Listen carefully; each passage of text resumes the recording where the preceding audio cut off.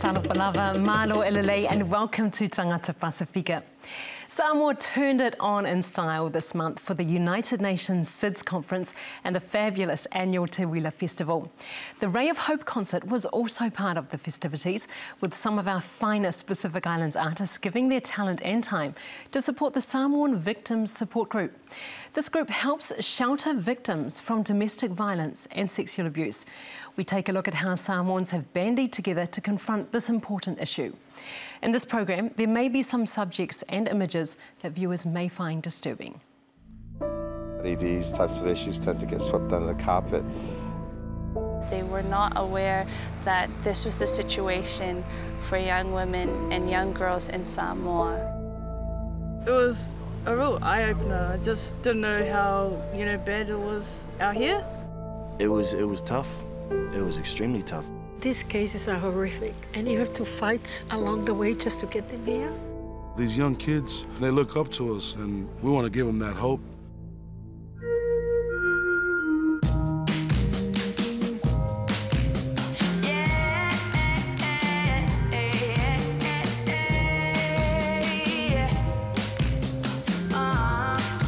Samoa hosts the United Nations SIDS Conference.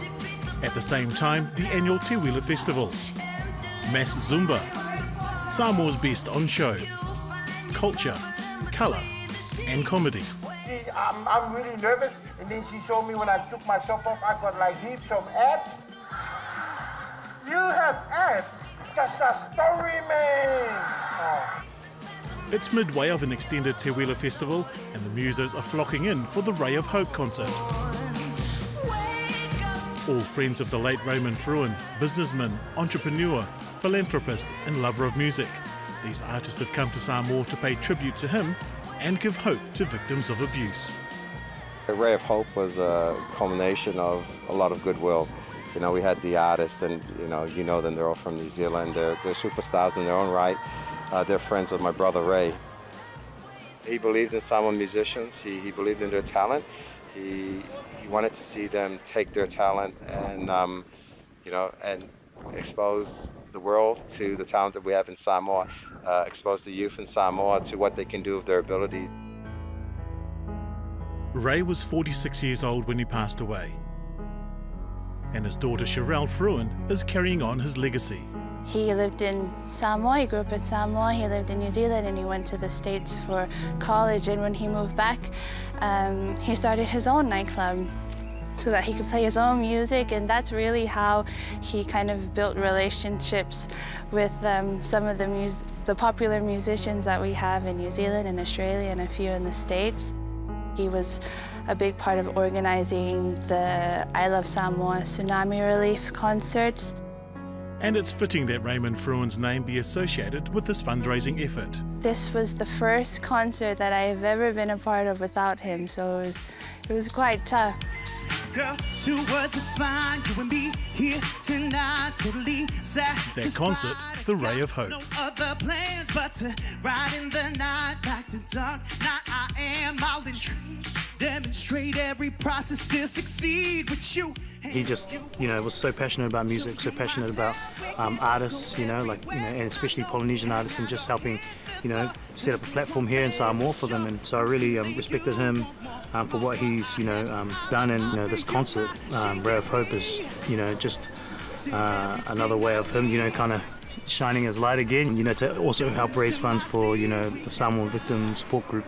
Know, one thing, it's not about fame, ain't about money. It's about the love. Hello? Can you say amen? Say amen. Yeah, and I know you made me wait for it, but it was worth it. I ain't gotta pay for it. The real classy type, that's what I'm into. Caramel skin tone sharp like a ginsu. He was a beautiful person. Ray was a beautiful person. He always smiled. You know what I mean? I get a little bit uh, emotional, but I'm cool. Body shaped like a pear.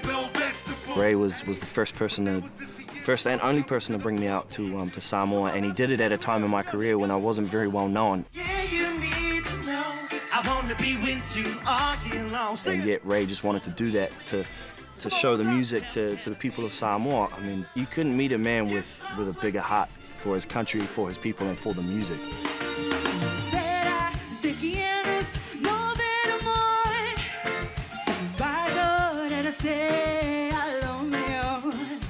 Yeah, Ray was a big fan of um, Selena, um, the Spanish singer. So um, he loved the movie.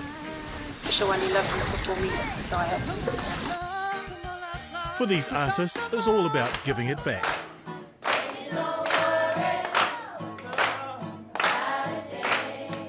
A visit to the Samoa Victims Support Group shelter is an overwhelming experience. It was quite an emotional day, I guess, um, for all of us. As musicians, like we, we do a lot of festivals and we do a lot of different shows. It's very rare that we get to be a part of something that I guess is bigger than ourselves as artists. And nothing was sugar-coated for us. Like a lot of them had are already mothers, like at the age of 11 to go there and, and see these, these young girls and boys and to hear their stories specifically um, really moved us. It's hard to hold back the tears, um, seeing the kids' faces, um, even though they are in the situation they're in. Wake up, wake up, get up, get up. We sing a bunch of songs.